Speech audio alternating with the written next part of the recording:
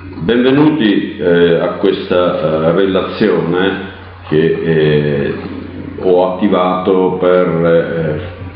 affrontare il tema del compenso all'avvocato con i nuovi parametri. Siete tutti a conoscenza certamente che eh, dal 2 aprile del 2014 è stato pubblicato, sulla, è stato pubblicato il decreto sulla Gazzetta Ufficiale, quindi dal 3 è entrato in vigore il nuovo virgolettato, devo usarlo, parametrario, eh, i nuovi parametri perché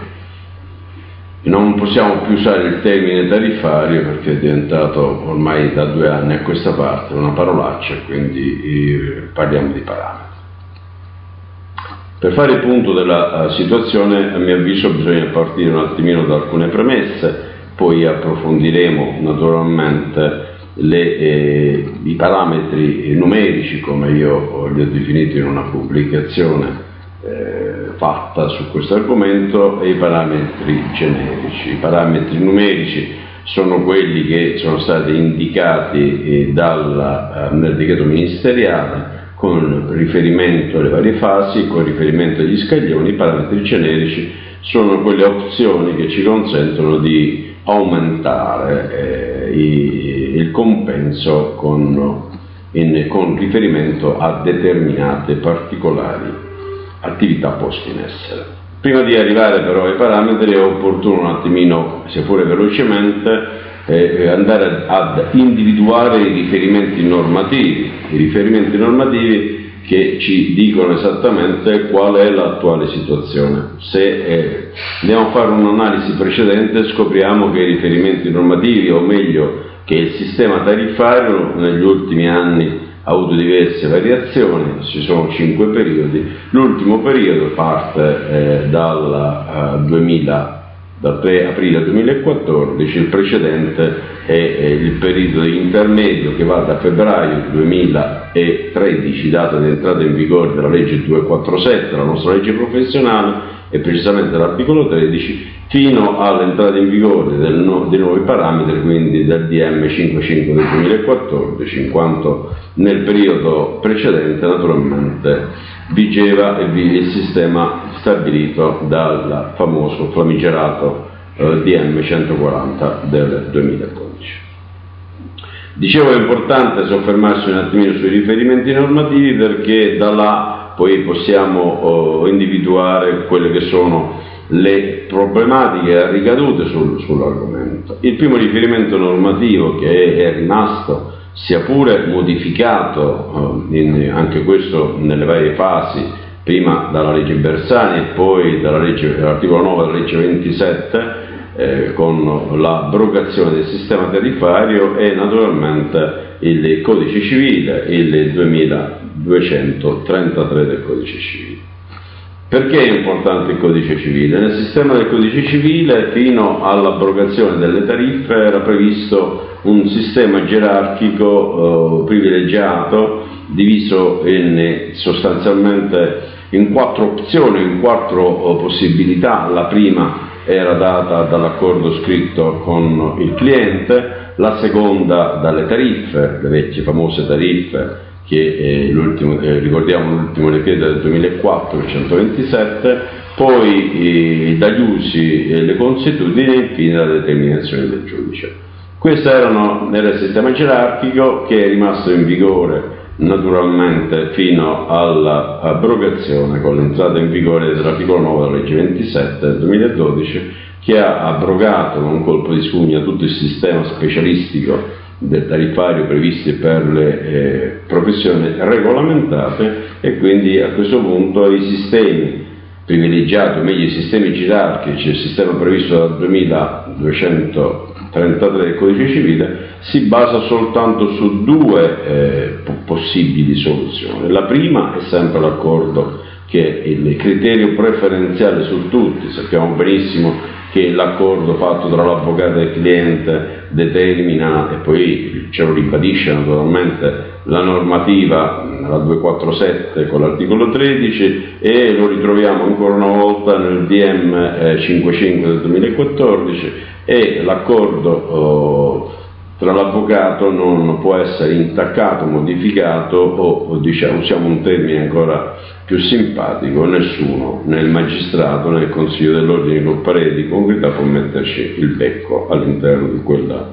di quella determinazione. Il secondo invece è la determinazione del giudice. La determinazione del giudice quindi si rifà alla, fino al 2 aprile del 2014 al DM 140 dal 2 aprile successivo, dal 2 aprile del 2014 al DM 55. La prima importante eh, caratterizzazione da mettere in evidenza immediatamente eh, è prevista nel nuovo DM all'articolo 28, che è la disposizione temporale, dove è stabilito un importante principio sulla vigenza, sull'entrata in vigore o l'utilizzazione del decreto ministeriale.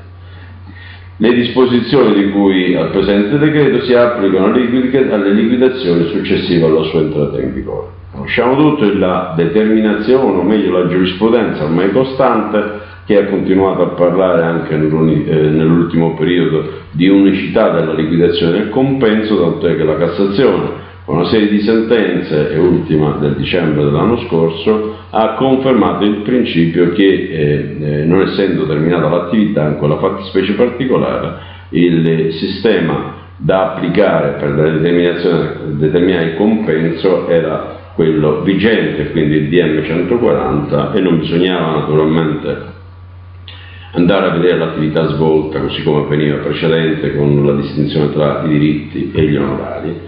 Quindi l'IDM con l'articolo 28 fissa questo principio del momento della liquidazione. Naturalmente sarà oggetto di grande discussione il momento della liquidazione, poiché a mio avviso il momento della liquidazione eh, è collegato all'effettivo momento in cui un'autorità, che può essere l'autorità giurisdizionale o il Consiglio dell'ordinamento del parere, oppure eh, lo stesso avvocato procede con una certa attività autonoma, inviando la parcella, rinunciando all'incarico oppure ricevendo una revoca dell'incarico, determina, potrebbe determinare il momento in cui si, eh, si posiziona il punto eh, il momento esatto in cui deve entrare in vigore il DM 55 del 2014. Non vi è dubbio che rispetto al decreto precedente 140 abbiamo un grossi incrementi, eh, fino al 70-80% in alcuni casi, abbiamo una regolamentazione molto più compatta e ben più precisa, abbiamo una serie di tabelle eh, numerose tabelle, circa 27 tabelle, una penale, tre strade giudiziarie e il resto giudiziarie, quindi abbiamo poi la possibilità di aggiungere il famoso rimborso spese forfettarie fino al 15%. Devo ritornare adesso ancora indietro per dire che eh, è la normativa che stabilisce l'articolo 13 al comma 3 ci ricorda che la pattuizione del compenso è libera, a questo punto però l'articolo 13 stesso ci dice che eh, ci stabilisce, determina, stabilisce le modalità con cui può essere eh, determinata eh, questa pattuizione eh, tra l'avvocato e il compenso. Quindi è la prima ipotesi cioè la possibilità per l'avvocato di eh, stipulare un accordo con il cliente e che naturalmente determina la regolamentazione dello stesso accordo stipulato. E il legislatore con l'articolo 13 parla infatti di possibilità di stabilire eh, la pattuizione a tempo, la pattuizione in misura forfettaria per convenzione per singole fasi a percentuale sul valore dell'affare. Sottolineo a percentuale sul valore dell'affare perché il comma successivo, il 4, reintroduce il, patto, il divieto del patto di quota lite che era stato abrogato dalla, uh, dalla legge Bersani e quindi era stato ampiamente utilizzato. La distinzione a questo punto tra la determinazione o la pattuizione percentuale sul uh, valore dell'affare eh, rispetto al patto di quota lite ha determinato oh, diverse problematiche o diverse interpretazioni. Mm, credo che eh, con questa formulazione, voi perché il legislatore eh, ha lasciato quella frase a percentuale sul valore o voi perché è stata inserita appositamente, potremmo ipotizzare due sistemi eh, di eh, utilizzazione del patto di quota lite che è determinato da una percentuale da stabilirsi eh, rispetto all'affare e dalla impossibilità, a mio avviso richiamando il 1621 del codice civile, eh, che prevede l'impossibilità di fare degli accordi su beni oggetto della controversia per i magistrati cancellieri e gli avvocati. Per semplificare possiamo dire che io posso fare un patto di quota lite o un, un accordo percentuale stabilendo il 20% della liquidazione dell'importo che verrà corrisposto al cliente, non posso però fare un accordo, per esempio in un giudizio, per l'acquisizione, la divisione di, beni, di, beni, di due beni immobili, non posso certamente fare un accordo in cui un, stabiliamo che un bene immobile resta a me e un bene immobile va a finire al cliente. La distinzione quindi è abbastanza facile da individuare, è rimasto naturalmente anche perché non trovo traccia di eh, divieti il sistema eh, del palmario, la possibilità di, quindi di predisporre un contratto misto con un compenso predeterminata forfè con una palma, con un regalo che può essere fatto e che viene fatto in relazione poi ad una serie di conseguenze o di, eh, di vantaggi che vengono ad, in evidenza nell'ambito dell'attività professionale. Ho parlato sia pure velocemente, mi riservo poi di fare un'altra relazione in un'altra occasione specifica sul sistema di determinazione del compenso per l'avvocato collegato ad un accordo. Le, invece quello eh, oggi, su cui oggi volevo soffermarmi riguarda il sistema dei parametri, parametri indicati eh, dal Ministero della giustizia eh, con il decreto emanato e pubblicato sulla Gazzetta Ufficiale e che di provenienza, possiamo dirlo, da parte del Consiglio Nazionale Forense. E il Consiglio Nazionale Forense che a maggio del 2012 ha proposto, del 2013 scusate, ha fatto una proposta dei nuovi parametri, naturalmente questo discorso non è stato completamente recepito dal Ministero con riferimento specialmente agli aumenti che erano molto più sostanziosi rispetto a possibilità di quadruplicare o duplicare il compenso in relazione a certi eventi, però in linea di massima possiamo dire che il Ministero di Difesa e Giustizia con il nuovo DM 55 ha recepito moltissime delle indicazioni che erano di provenienza dalla,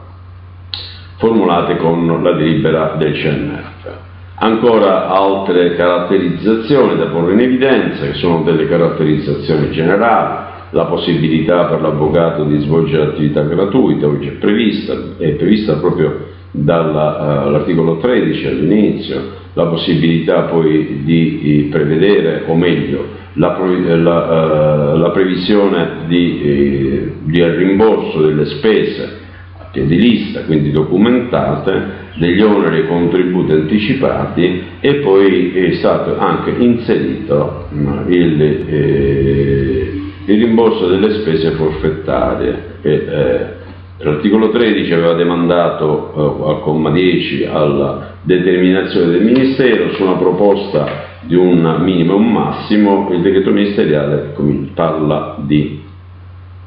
determinazione naturalmente in misura uh, del eh, 15% sul, sulla determinazione del compenso. Dobbiamo poi fare altre riflessioni sul, eh, sul, sul nuovo sistema eh, dei parametri perché il legislatore eh, con, la, l'articolo 13 e poi eh, gli estensioni dei decreti ministeriali hanno eh, ribadito un principio molto importante in cui eh, viene messo in evidenza, tra virgolette, la non obbligatorietà del sistema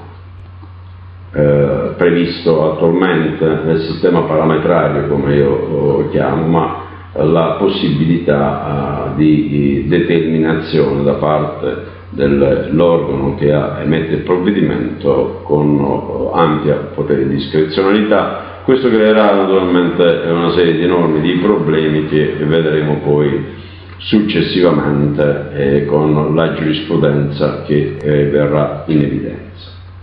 Ancora altre caratterizzazioni dei principi generali riguardano la possibilità, stiamo parlando sempre della mancanza dell'accordo, quindi in quest'altra ipotesi residuale che è la mancanza dell'accordo attiva uh, il decreto ministeriale, la possibilità di rivolgersi al Consiglio dell'Ordine per un tentativo di conciliazione ed è, è stato ripristinato anche il principio della possibilità di, da parte dell'avvocato di chiedere il parere di congruità al proprio Consiglio. L'ultima eh, norma eh, la, la molto importante prevede la reintroduzione espressamente prevista dalla legge del nostro famoso principio della solidarietà, il famoso articolo, eh, articolo 68 della legge professionale. Quindi il legislatore ha introdotto questo nuovo principio che rimane attivo anche nel sistema di liquidazione con il nuovo, con il nuovo decreto ministeriale. Fatta questa premessa molto importante sui principi generali, potremmo fare una uh, piccola uh, riflessione su quelli che sono invece eh, le problematiche connesse alla, al decreto stesso. Anche in questo caso abbiamo una distinzione tra uh, le attività, questa volta il, il, decreto parla di attività giudiziale, non di attività eh, come è conosciuto da noi nell'altra formulazione civile, amministrativa e tributaria, poiché eh, l'estensione del provvedimento ha ritenuto di inserire la, uh, il termine attività giudiziale per comprendere altre attività che non sono quelle civili, che potrebbero essere davanti alle varie autorità oppure davanti ad, ad autorità straniere e così via. Poi abbiamo naturalmente la regolamentazione con una serie di articoli dell'attività penale e eh, le disposizioni concernenti l'attività stragiudiziale che non era stata prevista da parte del legislatore, da parte de, del Ministero con il decreto 140.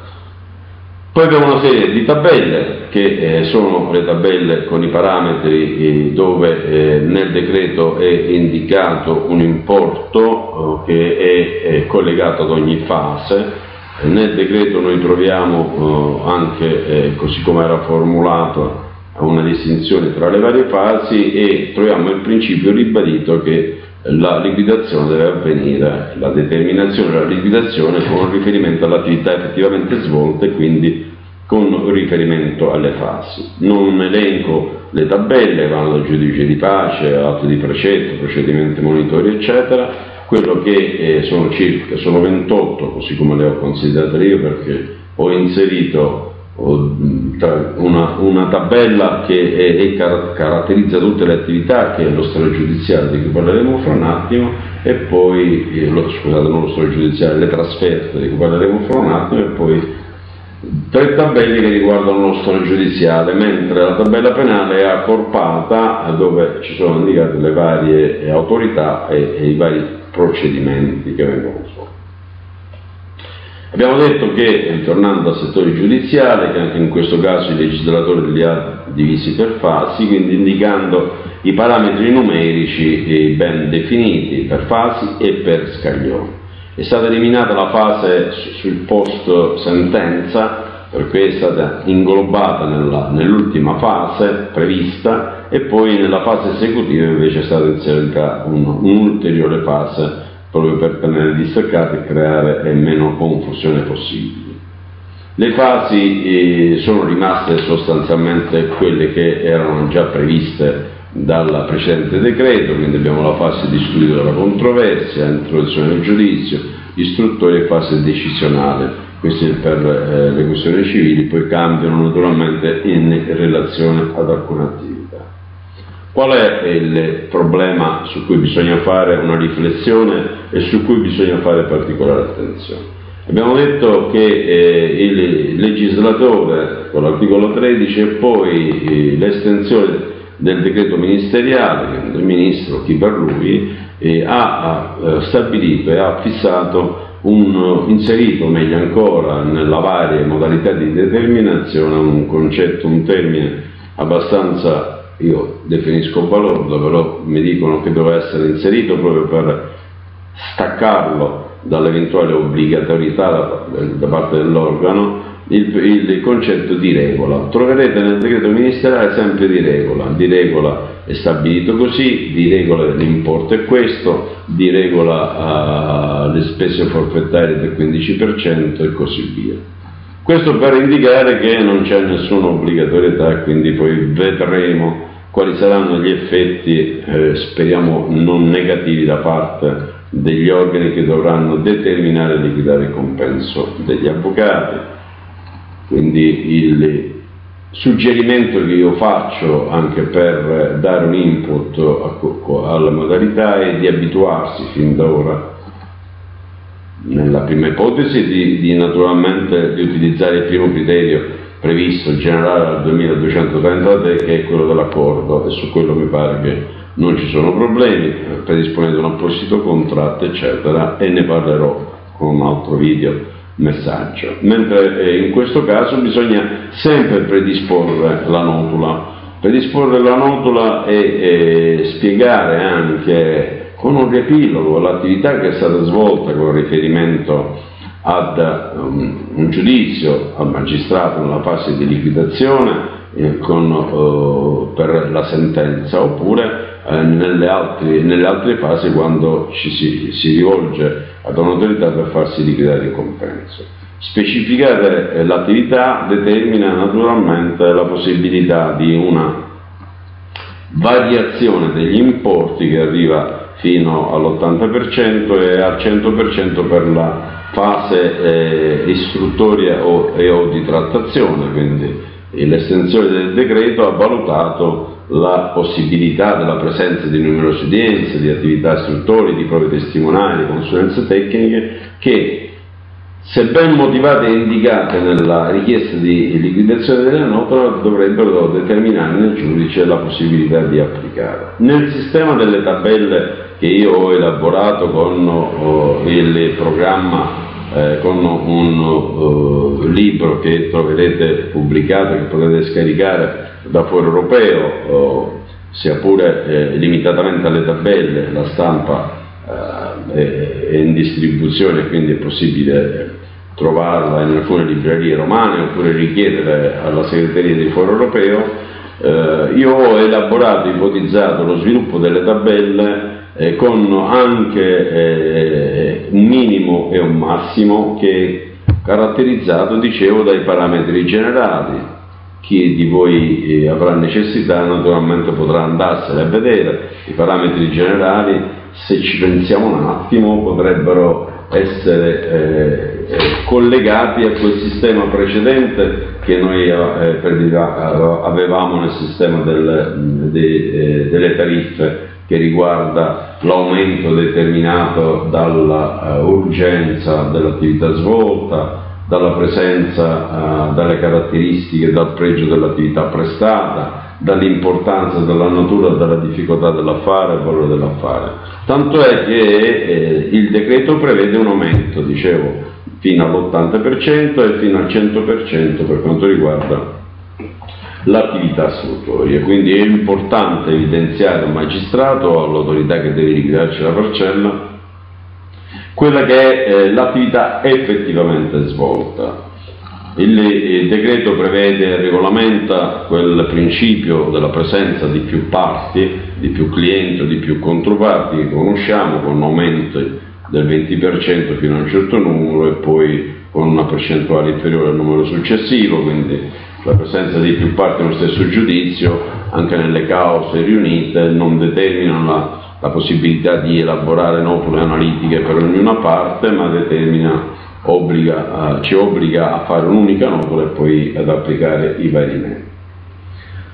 Devo aggiungere che, che eh, sono state eh, predisposte eh, dei commi, delle, dei, dei, principi per tentare di incentivare gli avvocati ad accelerare l'attività di liquidazione e, e di conciliazione delle, delle, cause. Per esempio nella, vi è un aumento fino al 30% quando si fa una transazione sul eh, con riferimento alle attività effettivamente svolte, questo per far recuperare anche l'eventuale fase non svolta, vi è un aumento del 20% del sistema tariffario del compenso quando si porta avanti una separazione consensuale, un divorzio congiunto, oppure ci sono altre eh, formulazioni che si possono ben vedere, per esempio nelle controversie di cui l'articolo 140 bis del decreto legislativo del 2005-206.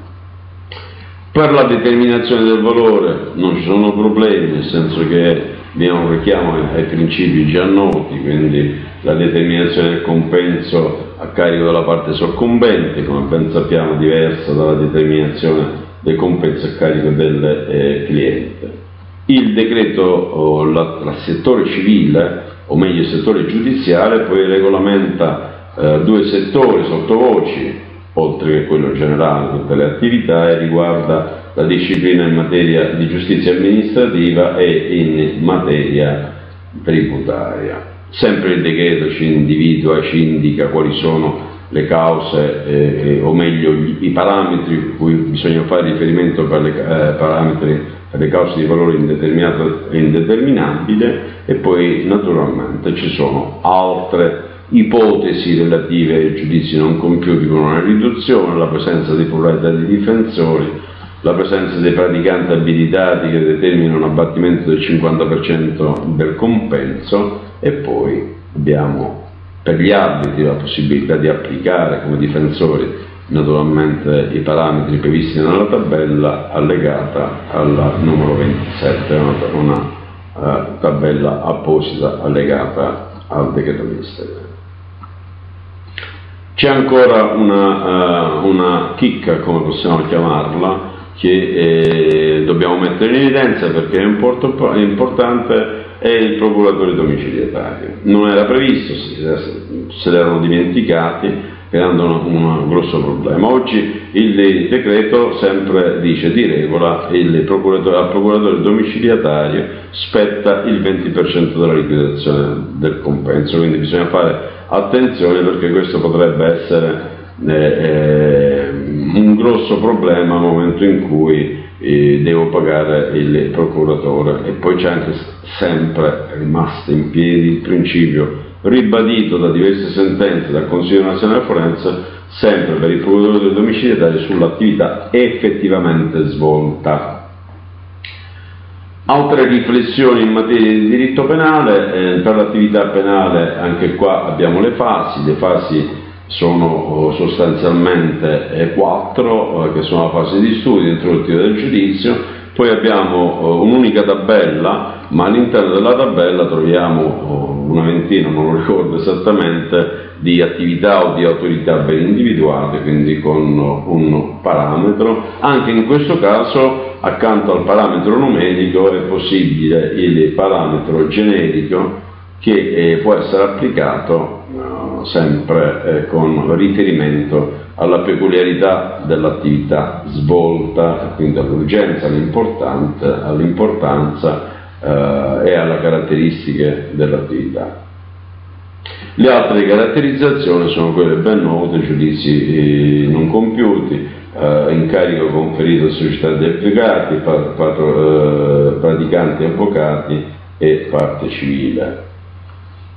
Abbiamo eh, anche eh, il problema delle spese forfettarie, oltre a quelle generali di cui parleremo fra un attimo. Nell'attività stragiudiziale i parametri eh, sono oh, ben definiti anche in questo caso, anche se eh, avremo oh, problemi interpretativi relativamente alle tabelle. Abbiamo una tabella prevista per l'attività di assistenza da parte degli avvocati dove ci sono i soliti eh, parametri numerici e poi ci sono gli aumenti eh, previsti in relazione all'attività svolta il de decreto stabilisce anche eh, l'attività per l'assistenza in procedure con concorsuali giudiziarie, assistenza affari di successione e divisione, affari amministrativi e così via, per eh, eh, le regole che devono essere applicate. C'è poi un uh, riferimento specifico uh, con un articolo esattamente l'articolo, l'articolo 26 del decreto ministeriale dove si parla di prestazioni con compenso percentuale. Anche qua eh, l'estensione del eh, decreto non si è dimenticato di metterci eh, la parola di regola, le parole di regola, proprio per stabilire che non vi è nessuna obbligatorietà nella fase di liquidazione e dice per le prestazioni in adempimento di un incarico di gestione amministrativa, giudiziaria o convenzionale il compenso è di regola liquidato sulla base di una percentuale che arriva fino al 5%. Adesso poi bisognerà un attimino vedere come eh, l'interpretazione andrà fatta. A mio avviso l'interpretazione deve essere fatta relativa, relativamente alla stessa formulazione del decreto ministeriale. Il decreto ministeriale con la tabella che io indico il numero 26, 26 e 27 parla di prestazioni di assistenza stragiudiziale ed è ben chiara, la tabella 27 parla dell'arbitrato, quindi il riferimento, o meglio questa tabella che io chiamo la tabella successiva, la tabella eh, con prestazioni con compensa percentuale, potrebbe includere tutte le altre attività che eh, riguarda l'attività uh, di consulenza per la redazione di contratti o di altre attività che naturalmente vengono in evidenza anche perché nella normativa c'è sempre stato inserito il principio dell'applicazione analogica, quindi eh, di volta in volta bisognerà uh, vedere che eh, in applicazione dei precedenti articoli per i compensi e rimborsi non regolati da specifiche previsioni sia riguardo alla disposizione del presente decreto che regolano fattispecie analogiche. L'ultima riflessione riguarda le trasferte. Sulle trasferte il, il nuovo provvedimento prevede il rimborso naturalmente a piedi list, ci obbliga ad andare massimo ad un albergo a 4 stelle e vabbè ci dobbiamo accontentare. Questo non l'abbiamo capito perché eh, di regola, di regola, di regola, però poi il riconoscimento solo per un albergo a quarta stelle e poi prevede un'indennità ridicola, un'indennità ridicola perché consente eh, all'avvocato di applicare un 10% in aumento sulle spese sostenute della trasferta. Quindi se io vado in trasferta a Milano spendo 100 euro per